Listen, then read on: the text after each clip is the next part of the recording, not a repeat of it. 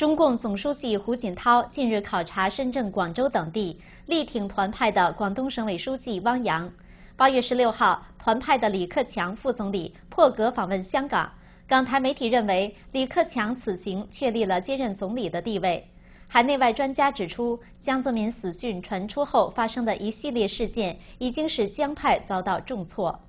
新华社十六号报道，李克强视察香港特别行政区。香港苹果日报表示，李克强访港被称为视察，是极为破格的说法。英国 BBC 的分析指出，李克强破格访港在于替李克强增加分数。也有分析认为，李克强此行是为了壮大团派占上风的声威。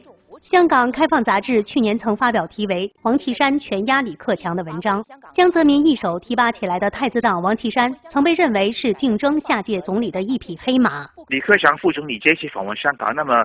呃更加明确的呃这个中共的安排就是说，李克强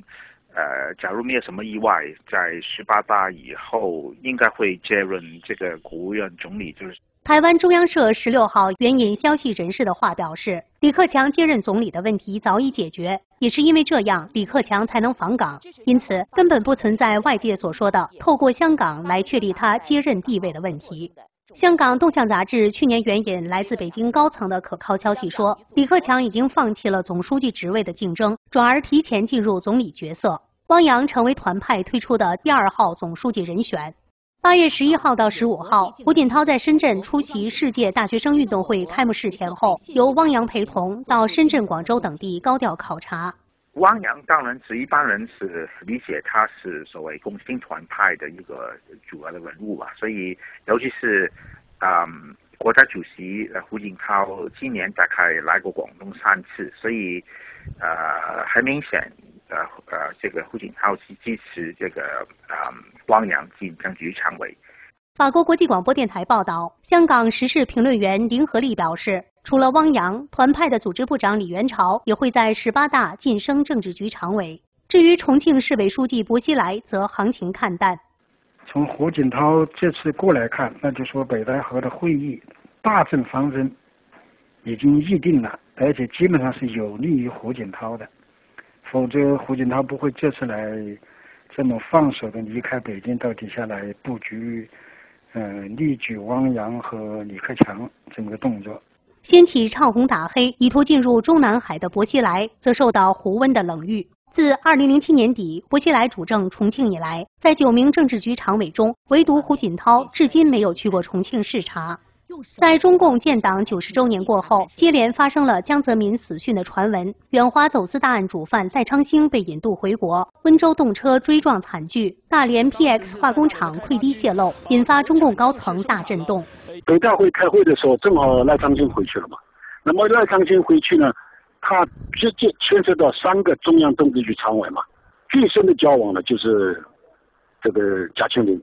那现在可以看到了，贾庆林这张牌啊。恐怕是已经要投降了，那么何国强看来还没有完全投降，啊，习近平嘛，他现在是低调。